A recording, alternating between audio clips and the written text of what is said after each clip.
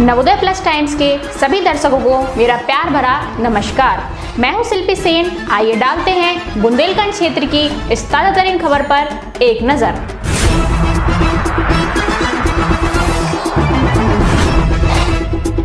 पिछली 23 जुलाई से स्वास्थ्य विभाग में कार्यरत 108 और 102 एंबुलेंस व एएलएस एंबुलेंस गाड़ियों में कार्यरत कर्मचारी अपनी विभिन्न मांगों को लेकर विरोध प्रदर्शन कर रहे थे।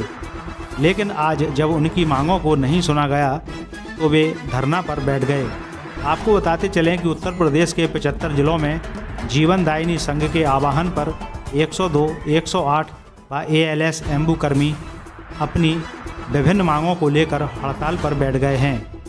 एंबुलेंस कर्मचारियों का कहना है कि उत्तर प्रदेश में 1200 एएलएस कर्मचारियों को ठेका परिवर्तित होने के बाद काम से हटा दिया गया है।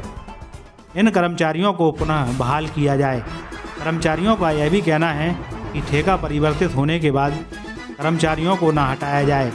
हड़ताल पर बैठने के बाद एंबुलेंस कर्मियों ने अपनी विभिन्न मांगों का ज्ञापन स्वास्थ्य मंत्री उत्तर प्रदेश सरकार लखनऊ, स्वास्थ्य सचिव उत्तर प्रदेश लखनऊ, मिशन निदेशक राष्ट्रीय स्वास्थ्य मिशन उत्तर प्रदेश, श्रम मंत्री भारत सरकार नई दिल्ली, स्वास्थ्य मंत्री भारत सरकार नई दिल्ली, गृह मंत्री भारत सरकार नई दिल्ली एवं अपर श्रमायुक्त Uttar Pradesh Lucknow G V K E M R I Uttar Pradesh Lucknow चिकित्सा हेल्थ केयर उत्तर प्रदेश और उत्तर प्रदेश के समस्त जिला अधिकारी और पुलिस महानिरीक्षक लखनऊ को ज्ञापन प्रेषित किया है।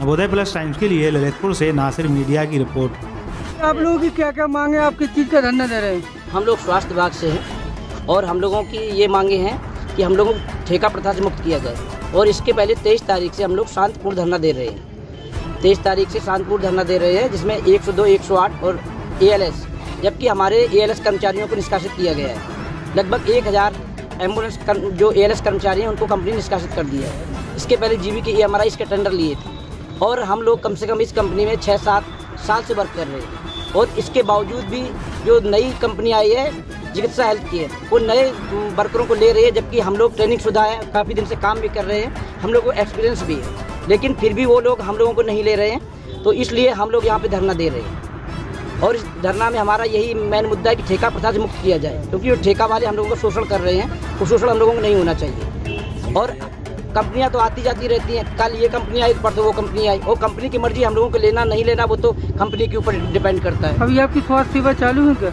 हमारी कोई स्वास्थ्य सेवा चालू नहीं है। पचहत्तर जिलों में सारी स्वास्थ्य सेवा बंद है। One zero eight one zero eight one zero eight two one zero eight और ए एल एस सारी सेवाएँ बंद है हमारे यहाँ। जैसे अभी कोई गंभीर मरीज़ आएगा उसके लिए क्या है? हाँ उसके लिए हम लोगों ने ध्यान रखा है कि अगर कोई क्रिटिकल पेशेंट आता है या कोई ट्रेजिडी होती है तो उसमें हम तीन गाड़ियाँ तहसील पे दे रखी है हम लोगों ने। कि इस तरह की अगर कोई घटना ना हो जाए जनता का भी ख्याल रखते हुए हम लोगों ने तीन गाड़ियों की व्यवस्था की है ललितपुर ज़िले में। इस तरह से हमारी प्रदेश अध्यक्ष जी ने हर ज़िले में व्यवस्था की है कि किसी जनता को भी किसी का अनित ना हो। अच्छा ललितपुर की बात करें तो कितनी गाड़ी चल रही है? अभी तक हमारे ललितपुर में लगभग बयालीस गाड़ियाँ चल रही हैं जिसमें एंबुलेंस के ए एल एस चार गाड़ियाँ चल रही हैं। चार गाड़ियाँ तेईस तारीख से बात है। तेईस तारीख से ए एल एस की कोई सेवा नहीं हो रही है पूरे पचहत्तर जिलों के अंदर। और one zero two one zero eight की सेवा चल रही थी। इसके पहले भी हम लोगों ने अवगत कराया था कि हम ये जो सेवा है वो हम बंद कर देंगे अगर हमारी मांगे नहीं मानी गई। लेकिन शासन प्रशासन और कंपनी ने उस पर हमारे कोई ध्यान नहीं दिया। और आज तक भी कोई मिलने नहीं आया कर्मचारी। और अगर मिलने आया तो इस तरह की कोई बात नहीं रखी जिसमें हम सहमत हो जाए। कहाँ पर दे रहे हैं आप लोग धरना अभी कितनी गाड़ी खड़ी है अभी यहाँ पे हमारी पूरे ज़िले की गाड़ी खड़ी है।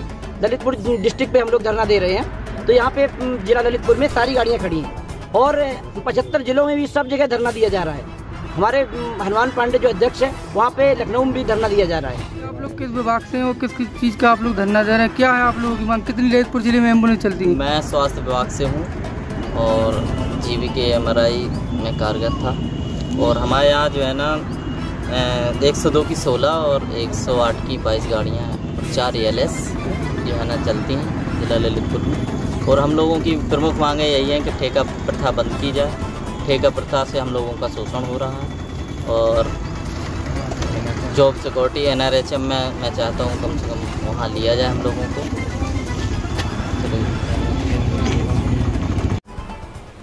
बुंदेलखंड और देश प्रदेश की ताज़ा तरीन खबरों से लगातार जुड़े रहने के लिए हमारे चैनल नवोदय प्लस टाइम्स को सब्सक्राइब कीजिए और लेटेस्ट न्यूज़ के नोटिफिकेशन के लिए बेल आइकॉन पर क्लिक कीजिए।